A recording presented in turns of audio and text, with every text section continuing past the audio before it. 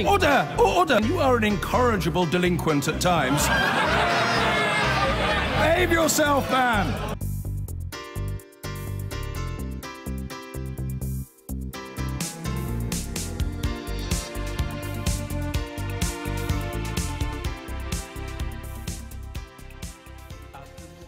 Meat has never been cheaper. In the developed world, it's gone from a way of marking high days and holidays to an everyday staple.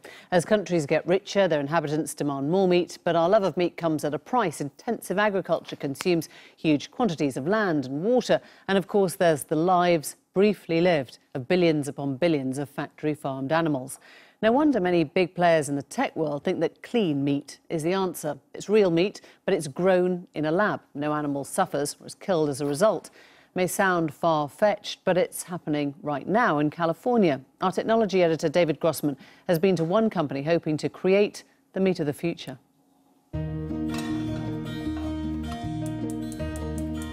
Our relationship with meat is complex. Many of us love how it tastes, but try not to think too hard about how it reaches our plate. Of the cost in terms of the planet, animal suffering, and a whole lot more.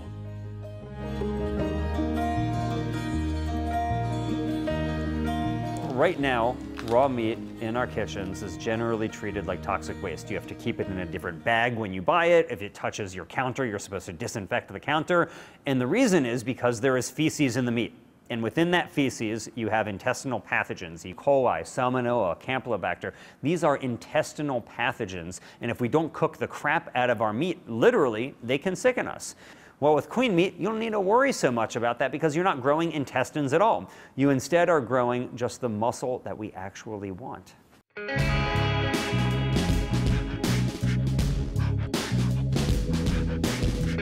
In San Francisco and Silicon Valley, there's a race going on. Some of the biggest players are investing in the search to make commercially viable clean meat. That is, meat that is grown in a bioreactor rather than on an animal, but is in every other way identical. Clean meat is real meat that is grown from animal cells rather than from animal slaughter. So right now, we have the capacity to take a sesame seed sized biopsy from an animal. And inside of that tiny biopsy, there are millions of cells. And when you put those cells inside of a cultivator and make them think that they are still inside the animal's body, they do what they do best, which is grow into muscle. So this isn't an alternative to meat, it's not a substitute to meat, it is real meat, simply without the need to raise and slaughter animals. This is one of about half a dozen companies in the race to develop clean meat. They're called Just. They invited me in to see how they're doing, although there were parts of the operation I wasn't allowed to film. The first question I had is if meat is so problematic, why not just try and give up altogether? More people are eating meat today than yesterday. So we talk about the plethora of plant based restaurants that are popping up. Bullshit. More people are eating meat today than yesterday. So the challenge is given that reality, it might not be a reality that people want to fully embrace, but it is important to understand that reality. How do we deal with it, right? Um, how do we deal with the idea that people will be eating meat, but you just need to figure out a way to enable them to eat in a better way? And, and I think meat is so connected to our identity, it's so a part of human culture that the idea that we can tell a poor person that wants to eat meat for the first time that instead they should have a piece of veggie chicken is unrealistic. One of the big challenges is finding the right liquid in which to grow the meat. It's this which provides the rapidly dividing cells with all the nutrients they need. That's what researcher Parendi Birdie is working on. Up to now, the only reliable growth medium has been something called fetal bovine serum. It's harvested from unborn calves and is both ethically and economically a non starter for commercial clean meat production. So we're working on a lot of uh, different experiments to find ways to eliminate that serum. So to do that, we're harnessing the technology from our Discovery platform to find different proteins that come from plants that can uh, replace the proteins that are in the FBS in that serum that comes from animals. And I think here at Just, we are very well positioned to do that because we have years of experience who have uh, analyzing and understanding proteins from plants because at the end of the day, animals eat plants. Cows, for example, eat grass. So the proteins are similar enough. We just need to figure out um, the best ones that our cells are happiest with and, and, and grow naturally. In the basement of Just is a huge plant library.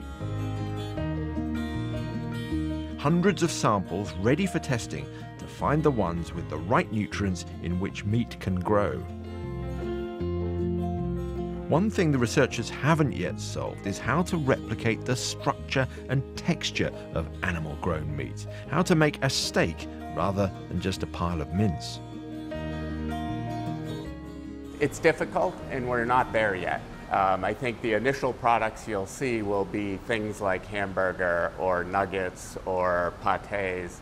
Um, but over time, the technology is out there for us to develop that structure. And we've done some interesting things internally that tell us we can get structure with different cell types. So there's plenty of work still to do. Much of the boring, repetitive testing at Just is done by robots. The clean meat industry is aware it has to tread carefully. Headlines about unnatural Frankenstein food could turn the public against it. However, supporters hit back that there's nothing natural about the way we currently produce meat. Think about the way that chickens are treated today.